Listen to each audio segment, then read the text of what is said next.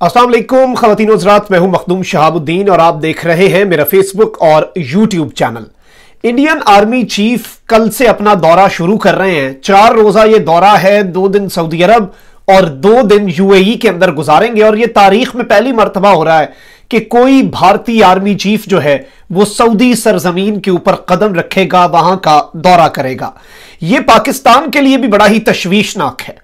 कुछ facts and figures आज की इस वीडियो में आपके सामने रखेंगे कि इस पूरे दौरे के अंदर भारत के पास दस्तियाब मवाक़े कौन कौन से हैं और इस सूरत हाल से वो कैसे फ़ायदा उठा सकता है और भारत सऊदी अरब को क्या कुछ दे सकता है और सऊदी अरब भारत से, मिलिट्री के एतबार से, डिफेंस के एतबार से, दिफाई लिहाज से क्या कुछ ले सकता है। साथ ही साथ ये भी डिस्कस करेंगे कि ये पाकिस्तान के लिए कितनी बुरी खबर है। पाकिस्तान कितना रिलाय करता है सऊदी अरब के ऊपर? सऊदी अरब को कितना क्या कुछ पाकिस्तान एक्सपोर्ट करता है? दिफाई ता, ताउन के अंदर जो पाकिस्तान की इकोनॉमी के ऊपर जिसके एडवर्स इफेक्ट्स हो सकते हैं। और सबसे इंपॉर्टेंट चीज़ जो आज की इस वीडियो में आपके सामने रखेंगे वो जनरल राहील शरीफ जो वहाँ पर मौजूद हैं सऊदी अरब के अंदर उनका किरदार। और किस तरह से अब आगे जाकर सऊदी अरब के अंदर इंडियन आर्मी पाकिस्तानी आर्मी को रिप्लेस करने जा रही है यह भी आपके सामने रखेंगे। और एक और चीज़ का जायजा भी लेंगे कि सऊदी अरब के लिए ज़्यादा मौजूद कौन है? पाकिस्तानी आर्मी या इंडियन आर्मी? और पाकिस्तानी आर्मी क्यों मौजू नहीं है बैरूनी जंगों के अंदर? और सऊदी अरब जो एक्सटर्नल वॉर्स लड़ रहा है बहुत से खत्े के अंदर मुख्तलिफ़ मकाम पर। उनके अंदर पाकिस्तान की मिलिट्री और सऊदी और जो इंडियन मिलिट्री है, उसमें क्या फ़र्क और क्या वैल्यू एडिशन हो सकती है सऊदी अरब के लिए? और ये चार लाख साठ हज़ार राइफल्स का ठेका है, जो कि इंडिया को देने जा रहा है यूएई इंडियन आर्मी के इस्तेमाल के लिए तकरीबन कमोबेश पाँच लाख ये राइफल्स हैं, जिनका ठेका मिलने लगा है यूएई की स्टेट ओन्ड कंपनी को। इसका भी आज की इस वीडियो में हम जायजा लेंगे। लेकिन उससे पहले अगर अभी तक आपने चैनल को सब्सक्राइब नहीं किया तो सब्सक्राइब भी कर लें और घंटी के निशान को भी दबा दें ताकि आने वाली तमाम तर जो वीडियोस हैं वो आप तक पहुँचती रहें। और इसी तरह मुकम्मल ईमानदारी के साथ हकाइक पर मबनी, सच्ची और मुस्तनद खबरें मैं और मेरी टीम आपकी खिदमत में पेश करते रहे। और साथ साथ आप सब लोग पिछली कुछ वीडियो से पूछ रहे थे कि आपकी तबीयत नासाज लग रही है तो आपकी दुआओं का और आपके कंसर्न का बहुत शुक्रिया। यहाँ पर दरअसल जहाँ पर मैं मौजूद हूँ डेनमार्क में अभी फ़िलहाल। तो यहाँ का जो मौसम है, ये थोड़ा सा सख्त है और हमें आदत नहीं होती इस मौसम की तो बस कुछ मौसमी जुकाम और बुखार है। आप सबकी दुआओं का बड़ा शुक्रिया। टॉपिक पर आते हैं और सबसे इंपॉर्टेंट चीज़ जो है, इस वक्त ये जो दौरा है, ये एक तो पाकिस्तान और अरब वर्ल्ड जो है खसूस अरब वर्ल्ड से मुराद हमारी यूएई और सऊदी अरेबिया है, उनके खराब होते हुए ताल्लुकात और फिर इंडिया और अरब वर्ल्ड जो है, उनके आपस में बेहतर होते हुए ताल्लुक के तनाजुर में।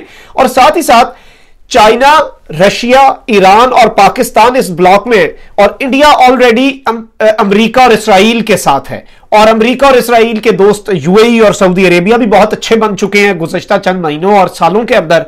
तो इंडिया की पूरी कोशिश है कि वो वहाँ पर पूरी मार्केट जो है वो कैपिटलाइज कर ले। अब देखें, जो अरब ममालिक की दोस्ती है ना पाकिस्तान के साथ वो सिर्फ़ और सिर्फ़ पाकिस्तानी मुसल्ला अफवाज की मदद हासिल करने के लिए रही है। यानी इन अरबों को पाकिस्तान से सिर्फ़ और सिर्फ़ एक फ़ायदा रहा है, पूरे टाइम के अंदर वो है मिलिट्री कॉपरेशन चाहे हम उन्हें असला इंपोर्ट करते हो, चाहे हमारी फौज वहाँ पर मौजूद हो सऊदी अरब के अंदर और इन्हें ट्रेनिंग्स देती हो, या फिर वहाँ पर जो मुकदस मकामात हैं, उनकी हिफाजत जो पाक फौज के सपुर्द है ऑलरेडी वो हो। ये ममालिक हमेशा से पाकिस्तान जो है उसके ऊपर रिलाई करते रहे हैं। यूएई का मैं आपको बताऊँ, इतना दिलचस्प बात कि यूएई की जो एयरफोर्स है, उसे बनाया ही पाकिस्तानी एयरफोर्स ने। और यूएई की एयरफोर्स के पहले चार या पाँच जो एयर चीफ्स थे, वो पाकिस्तानी एयरफोर्स के अफसरान थे। इस कदर यानी ये लोग रिलाई करते रहे हैं पाकिस्तानी एयरफोर्स पे। और चार पाँच पहले जो एयर चीफ्स थे यूएई के, इसके अलावा सऊदी अरब के अंदर मुकम्मल ट्रेनिंग्स पाकिस्तान देता है।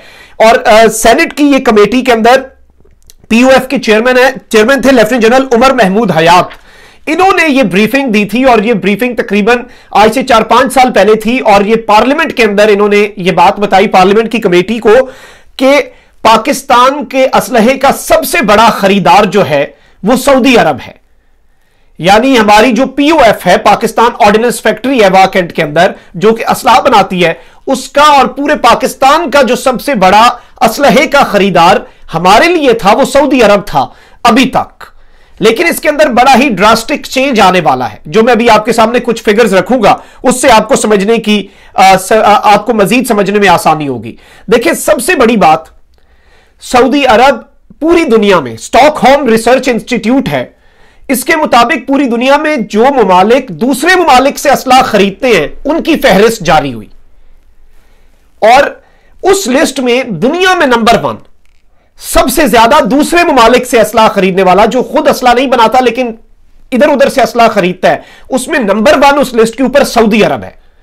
दूसरे नंबर पे भारत है, और पाकिस्तान है इसमें ग्यारहवें नंबर पे। ये स्टॉकहोम रिसर्च इंस्टीट्यूट की एक रिपोर्ट है, बड़ी तफसीली, जिसमें पाँच छह साल के जो फिगर्स हैं, उन्हें कंबाइन करके इसे एनालाइज किया और ये रिपोर्ट जारी की। अब इंडिया किस जाने बढ़ रहा है, ये बड़ी दिलचस्प और समझने वाली बात है। नरेंद्र मोदी का एक इनिशिएटिव है मेक इन इंडिया इनिशिएटिव ये इनिशिएटिव ये कहता है कि अगर किसी मुल्क ने हमें असला देना है तो वो बनाए वही मुल्क, उसकी कंपनी लेकिन वो भारत के अंदर आके बनाए।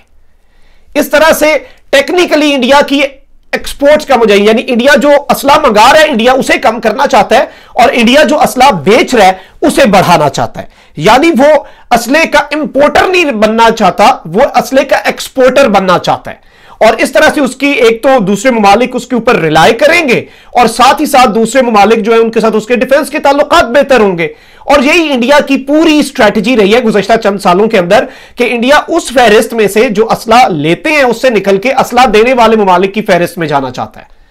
ऑल अपनी टेक्नोलॉजी के लिए यह अमरीका से असला लेता रहेगा, लेकिन जो छोटे ममालिक हैं या जिन ममालिक का भी इतना ज़्यादा एडवांस नहीं है, उन्हें अपना असला बेचता रहेगा, ताकि वो इक्वेशन जो है, वो बैलेंस होती रहे।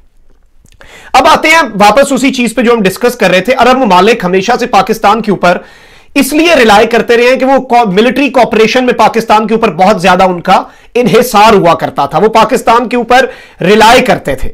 अगर ये दिफाई अगर यही रिश्ता कमज़ोर हो जाता है यही दिफाई ताउन जो आ, हम एक दूसरे के साथ आ, हमारा बड़े अरसे से साल साल से चल रहा है तो कोई वजह नहीं रह जाएगी जिसकी वजह से अरब पाकिस्तान की तरफ़ देखें।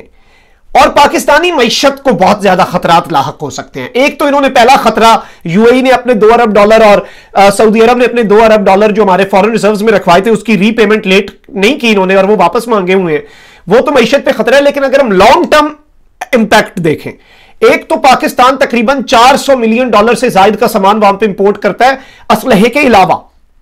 उसके अलावा हमारी असलहे की पूरी जो आ, हम असला सारा जो इंपोर्ट करते हैं वो नहीं देते हैं। तो इससे भी हमारी मीशत को एक नुकसान जो है, जो फैक्ट एंड फिगर्स हैं तो हमारी मीशत के लिए इसके एडवर्स इफेक्ट्स हो सकते हैं। लेकिन हम जारी बात है, बहुत से और ऑप्शंस हैं। पाकिस्तान अपने जे एफ़ सेवनटीन थंडर का पाकिस्तान को ऑर्डर मिल रहा है। पाकिस्तान को बड़े बड़े ऑर्डर मिल रहे हैं। अल्लाह जो है, कहते हैं वो सबबल असबाब है तो एक दर बंद होता है तो सौ दर मजीद खुल जाते हैं। और यही हो रहा है खत्े के अंदर। और ये जो चेंज आ रहा है हमारा ब्लॉक से, हम ये जो अरब ब्लॉक से निकल रहे हैं, इसके हमें कुछ नुकसान तो होंगे, लेकिन अल्लाह का ताला का करम रहा तो पाकिस्तान अपने पैरों पे खड़ा हो रहा है और कोई बहुत ज़्यादा रिलाय करने की ज़रूरत नहीं है और दुनिया खत्म नहीं हो जाएगी। लेकिन नुकसान जो है हमारी मीशत को वो बहरहाल इसका होगा। अब राहील शरीफ, जनरल राहील शरीफ पाकिस्तान के सबक सिपा सालार और रीसेंट हिस्ट्री के सबसे ज़्यादा फेम रखने वाले आर्मी चीफ वहाँ पर मौजूद हैं। वहाँ पर इस्लामिक जो एंटी टेररिज्म कोएलेशन है, उसे हेड कर रहे हैं। लेकिन राहील शरीफ की अहमियत सऊदी अरब में सिर्फ़ इस कोएलेशन से बहुत ज़्यादा है। राहील शरीफ वहाँ के हुक्मरानों को अपनी कारकर्दगी से बहुत ज़्यादा मुतासर कर चुके हैं। और जरा यह भी बताते हैं कि यह कारकर्दगी सिर्फ़ यमन के लिए बनाए गए फौजी इतिहाद तक महदूद नहीं है, बल्कि राहील शरीफ जो है, उन्हें सऊदी अरब के लिए दीगर जो जोग्राफियाई पॉलिसी मेकिंग है जो रीजनल पॉलिसी मेकिंग होती है, उसमें एक अहम मुशीर का दर्जा हासिल है। और मोहम्मद बिन सलमान, जो कि सऊदी अरब के वली अहद हैं, वो राहिल शरीफ के ऊपर बहुत ज़्यादा रिलाय करते हैं और उनकी राय को बहुत ज़्यादा अहमियत देते हैं। तो वो वहाँ पर एक मेजर एडवाइजर के तौर पे हैं। अब, इसमें कोई शक नहीं है कि मुआशी मफादात जो हैं, उन्होंने अरब हुक्मरानों को भारत की तरफ़ मुतवजा किया जिसकी वजह से, जिसकी वजह भारत की बड़ी मंडी है और भारत में उन्हें बहुत ज़्यादा चीज़ें जो हैं, वो उन्हें मिल सकती हैं। लेकिन देखें तीन चार चीज़ों में भारत रिप्लेस करना चाहेगा। एक तो सऊदी अरब का जो नेशनल डिफेंस कॉलेज है, वहाँ पर Indian army chief general Naravane जाके खिताब करेगा। अब उसी कॉलेज के अंदर ट्रेनिंग पाकिस्तानी फौजी देते हैं। ये पाकिस्तान के लिए बड़ी तश्वीशनाक बात है कि जहाँ पर हम ट्रेनिंग दें, वहाँ पर आप इंडियन आर्मी चीफ के खिताब कराने का क्या मकसद बनता है? क्या मैसेज देना बनता है? क्या पैगाम देना चाह रहे हैं सऊदी अरब के हुक्मरान पाकिस्तान को? ये बड़ा वाज पैगाम है। ये बड़ा वाज पैगाम है, ना सिर्फ़ पाकिस्तान के लिए, बल्कि बल्कि पूरी दुनिया के लिए कि ये पॉलिसी शिफ्ट आ नहीं रहा, ये आ चुका है। इसके अलावा इनके दरमियान 2014 में एक एमओयू साइन हुआ था, सऊदी अरब और इंडिया के दरमियान, कि हम ज्वाइंट मिलिट्री एक्सरसाइजेस करेंगे। एमओयू होता है मफाहमत की याददाश्त, वो कोई एग्रीमेंट नहीं होता। मेमोरेंडम ऑफ़ अंडरस्टैंडिंग होता है, उसकी कोई लीगल बाइंडिंग नहीं होती। तो अब यह तो ज़ाहिर की जा रही है, अब क्योंकि माहौल जो पिछले चार पाँच साल में इन्होंने बनाना था, वो बना लिया तो अब यह तो ज़ाहिर की जा रही है कि ज्वाइंट मिलिट्री एक्सरसाइजेस ट्रेनिंग्स और ड्रिल्स का जो एमओयू था, उसे ये एग्रीमेंट और माहदे की शक्ल देंगे। तो इसके भी बहुत ज़्यादा इम्कान जो है, वो पैदा हो चुके हैं। इसके अलावा वहाँ पर जो सिक्योरिटी है, पाकिस्तान ने वहाँ की संभाली हुई है, उसके ऊपर भी बहुत ज़्यादा मसला बन सकता है। अब ये कैरेकल सऊदी यूएई की एक स्टेट ओन्ड स्मॉल आर्म्स बनाने की कंपनी यानी छोटा जो हथियार है, राइफल या बंदूक या गोलियाँ और इस टाइप की चीज़ें बनाने की जो यूएई की सरकारी कंपनी है, भारत उसे ठेका देने जा रहा है चार लाख साठ हज़ार राइफल्स बनाने का इंडियन फौजियों के लिए। और ये वही जो मैंने आपको शुरू में बताया, ये मेक इन इंडिया इनिशिएटिव है।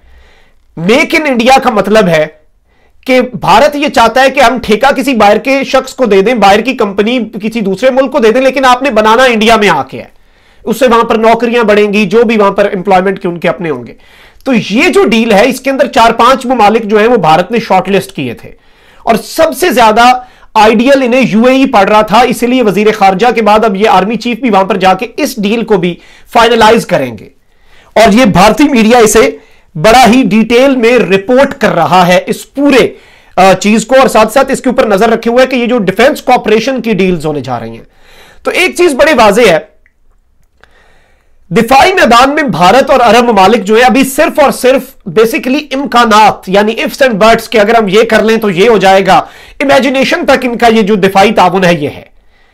और ये राहील शरीफ ही है बेसिकली जो इस वक्त भारत की जानब से दिखाए गए जो सब्ज बाग है मिलिट्री के एतबार से, उन्हें बेनकाब कर सकते हैं। क्योंकि सारी बात है, हम भी बहुत ज़्यादा रिलाई करते हैं इस पूरी सूरत हाल के अंदर सऊदी अरब के ऊपर अपने जो असलाह देने और असलाह बेचने के एतबार से। तो एक ये चीज़ बड़ी अहम है राहील शरीफ का किरदार आने वाले चंद दिनों में बहुत अहम है और ये मेक और ब्रेक मोमेंट है। यानी या तो इसमें गेम बन भी सकती है या फिर पूरी गेम खराब हो सकती है। तो आने वाले ये जो चार दिन हैं इसके इंडियन आर्मी चीफ के दौरे के, ये बड़े आम होने वाले हैं। मैं जाती तौर पे समझता हूँ कि छह से आठ दिसंबर का जो सऊदी अरब का दौरा है, वो ज़्यादा अहमियत का हामिल होगा हमारे लिए और हम उस पर ज़्यादा कड़ी नज़र रखे हुए होंगे। उसके बाद ये जो आठ से दस दिसंबर ये वहाँ पर मौजूद होगा। यूएई यूएई के साथ ऑलरेडी हमारे ताल्लुक जिस तरह के हैं, उन्होंने जो हमारे पे वीज़ा पाबंदियाँ लगे लेकिन सऊदी अरब में अभी भी there is a space for Pakistan completely मामला खराब नहीं हुआ। तो इसके अंदर जनरल राहील का किरदार बहुत ही ज़्यादा अहम होने वाला है। और आने वाले चंद दिनों में हम भी इसके ऊपर मजीद रिपोर्टिंग करेंगे और जो जो खबर हुई, वो इसी तरह से इंडियन आर्मी चीफ का ये जो दौरा होने जा रहा है, पहला मरतबा हिस्ट्री में, इसके ऊपर मजीद हम आपको अपडेट करते रहेंगे। इस चैनल को ज़रूर सब्सक्राइब कर लीजिएगा। ये आपका प्यार है, आपकी मोहब्बत है, जो आपने गुजशत चंद दिनों के अंदर हमें दिखाई और इस चैनल को आपने एक फास्टेस्ट ग्रोइंग चैनल बनाया यूट्यूब का। और ये आपकी मोहब्बत इसी तरह बरकरार रहेगी तो इनशाला इसी तरह आपका और मेरा ये ताल्लुक बरकरार रहेगा। और हम से पाकिस्तान की सियासत और साफत की काली भेड़ों को भी एक्सपोज करेंगे। साथ ही साथ आलमी सतह पर जो कुछ हो रहा है, उस पर भी एक गहरी और जिसे कहते हैं कि प्रॉपर निगाह रखकर आपको लम्हा ब लम्हा अपडेट करते रहेंगे। अपना बहुत ख्याल रखिएगा, अपने इर्द गिर्द लोगों का भी और इस मुल्क पाकिस्तान का भी, क्योंकि पाकिस्तान है तो हम हैं। अल्लाह निगेबान पाकिस्तान जिंदाबाद।